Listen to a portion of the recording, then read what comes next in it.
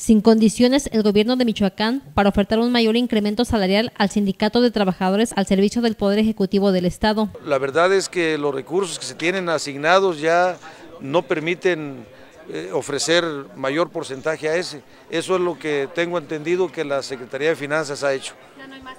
Ya no hay más.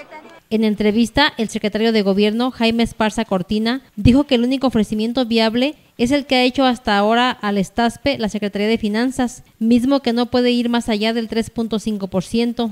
La Secretaría de Finanzas ha mantenido el ofrecimiento que les ha hecho desde hace algunos días o meses inclusive y se ha mantenido en, esa, en ese porcentaje que es el 3.5 para el incremento salarial y tenemos también ahí pendiente también ese mismo porcentaje retroactivo para el, diciembre del mes, del año de 2014, perdón, y, también para el 2015. Cuestionado sobre si el gobierno estatal ya fue notificado oficialmente sobre las observaciones de la Auditoría Superior de la Federación a la cuenta pública 2013, el encargado de la política interna del Estado dijo que no, y que será la dependencia la encargada de aplicar las sanciones a quienes hubiesen cometido alguna irregularidad. En este punto, la, Auditoría Superior de la Federación tendrá que canalizar y requerir a quienes deban responder por lo que la auditoría